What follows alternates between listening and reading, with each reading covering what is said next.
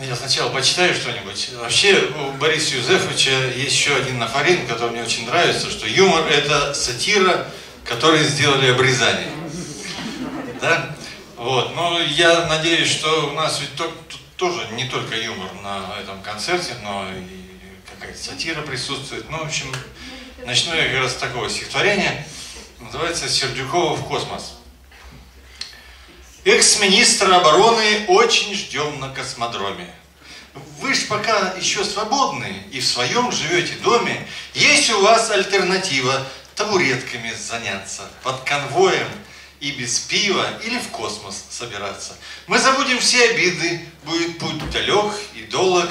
На высокую орбиту вас запустим лет на сорок. Но кривить не надо рожу, справедливость есть на свете. Ваших баб запустим тоже. Правда, на другой ракете. День защитника Отечества.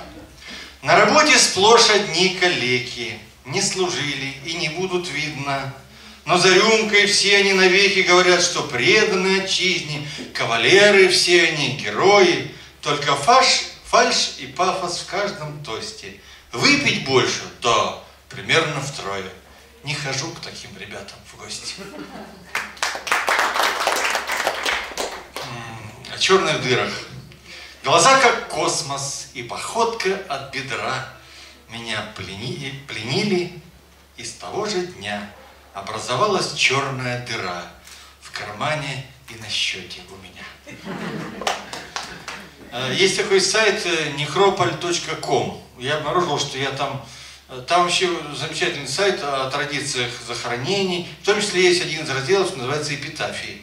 И вот я обнаружил, что я там тоже присутствую, кто-то меня туда засунул. Вот есть у меня песня э, «Эпитафия горнолыжнику». Ну, как бы почитав, а там Денис, где-то я между Денисом Давыдом и батюшком. В общем, посмотрите, интересно. Ну, я написал еще одну эпитафию. Называется просто эпитафия. Женат удачно был три раза четвертый тоже, только в пятый. Такая встретилась зараза, что дал он дуба от проклятой. Ну, там еще есть автоэпитафия. Я тоже написал автоэпитафию, но думаю, читать пока еще рановато. О времени. Приударяли по герлам, куда все делось, текло рекой вино Агдам. Не только пелось, наоборот, не важно. О времени. Струилось время ручейком, а нам все мало, Большим ручьем текло потом, не доставало. Потом оно текло рекой, Москвой и Волгой, И до конца подать рукой уже недолго. Вчера мы были, спору нет, а кем мы стали? Две стервы им по сорок лет и тень не дали. Конечно, с годами мы реже и реже, но все же наступаем на грабли, на те же. Ну, недавно был э, Всемирный день блондинок, вы знаете, да? У меня дома их четыре, да и в саде их очень много. Поэтому несколько стишков таких. Если вы в душе блондинка и к тому же симпатичны, и при этом вам за 30 так, чуть-чуть, едва-едва, вы легки, как паутинка, сексуальны, романтичны, а заклад готов я биться вам примерно 42. Состояние души. Глупа брюнетка, ты не обессудь, и удивляться, друг мой, не спеши. Не цвет волос определяет суть. Блондинка – состояние души. смс от 22 апреля 2013 года. Пишу тебе в душе скорбя, мы не увидимся в апреле мне из запоя до тебя идти примерно две недели. О постоянстве в браке. Твержу я о знакомой без устатку, что в мире стойче нет ее и тверже, любовников меняет, как перчатки. Однако муж у ней один и тот же. Вопрос в Минобрнауки. Коль принес ребенок два, виновата же голова, все равно его по попе надо отлупить сперва. Ну и вот э, нарушителям скорости, я думаю, что плакаты скоро появятся, я туда посылаю такие вот. О ты, летящий весь в восторге, ломающий свою судьбу, представь, что место твое в морге, потом, естественно, в гробу. Вот прочитаешь не захочешь ехать быстро. Или пьяным за рулем. За руль не садись, если пьяный ты в дым. Если еще утверждение проще, может, тогда и доедешь живым до любимой жены и не очень тещи. Ну и пару пародий. Валера Михалюков написал такое. Поймал себя на мысли о прекрасном. Ну, думаю, свершилось, наконец. Всю ночь писал, и вот картина маслом. Стакан, Петрович, водка, огурец. А я, предпочитая акварели, всю ночь писал прекрасного венец. Блондинку, обнаженную в постели. Итог. Петрович, водка. Замечательный автор из э, Питера. Я даже не знаю, как его настоящее имя. Он подписывается Ю на сайте на Хахмадроне. Он написал так. На забытом Богом островке время никого давно не лечит, проплывет подлодка вдалеке, не желая с Робинзоном встречи. Пятница, тринадцать, вот в чем соль. Старые приколы Голливуда. Где же ты, прекрасна Ассоль? Забери его скорей отсюда. Почему Ассоль и Робинзон, не знаю. Пародия такая. Проплывал в подлодке как-то раз, перископ подняв, смотрю на берег, был далек от мысли, что сейчас я открою миру сто Америк. Но одну действительно открыл. В перископ увидев Робинзона, не один, а с пятницы он был – неприлично издавая стоны, к перископу подозвал Асоль, посмотри, заберем, смотри, какие муки, а она, превозмогая боль, ни за что, пусть остаются, суки. Ну и, значит, по заявке, Вадим, твоей, Наталья Киселева, до встречи с тобой. Я до тебя была красавицей, здоровой и самоуверенной, Такие ведь мужчинам нравятся, но я ждала тебя намеренно. Сейчас хожу по поликлиникам, и лоб морщинками отметился.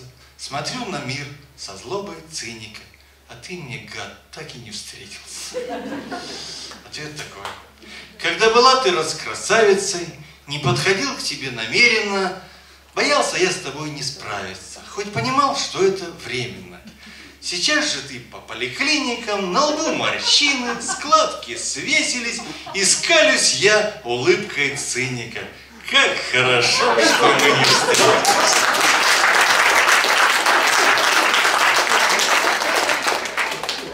Ну и, наверное, надо, оправдывая эти лыжи стоящие, кстати, это не по сценарию, это вот экспромт Миши Калиткина, что-нибудь спеть про горнолыжное. А что, а спонсоров не выдадут? В обмен на деньги.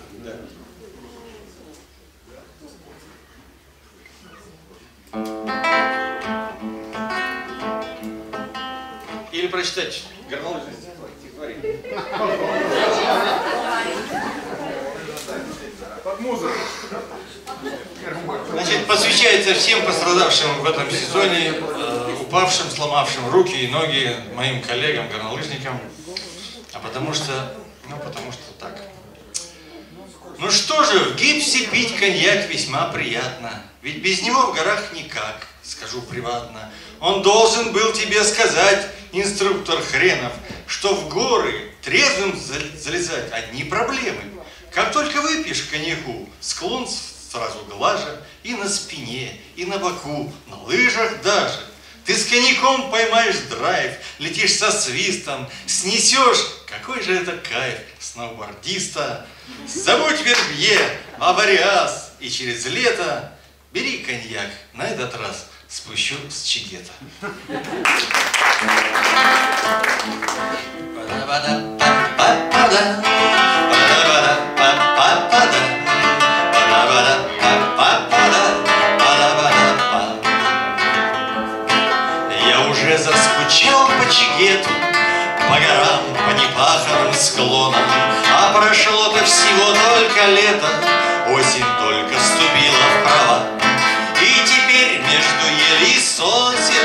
поем и поем до рассвета Нам московская милая осень.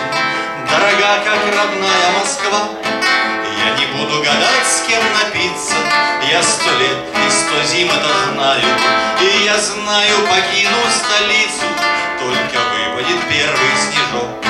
Возвращаться плохая примета Но я вновь на чигет улетаю И не надо мне знойного лета Но вернусь, ты дай только срок Когда же горы.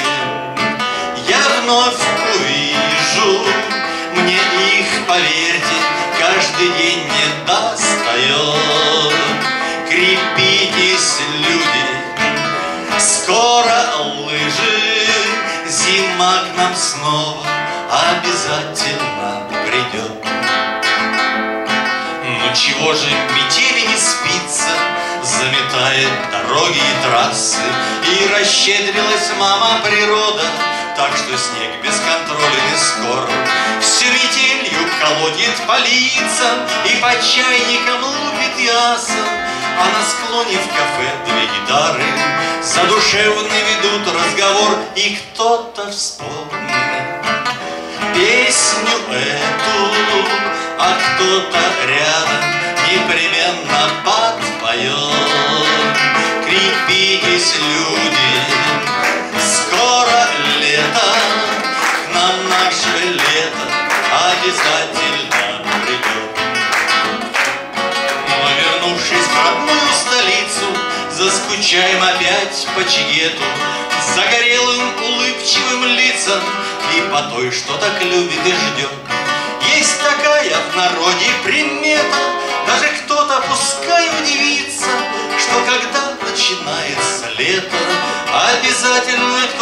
споет Когда же горы. Я вновь увижу Мне их, поверьте, каждый день не достает Крепитесь, люди, скоро лыжи Зима к нам снова обязательно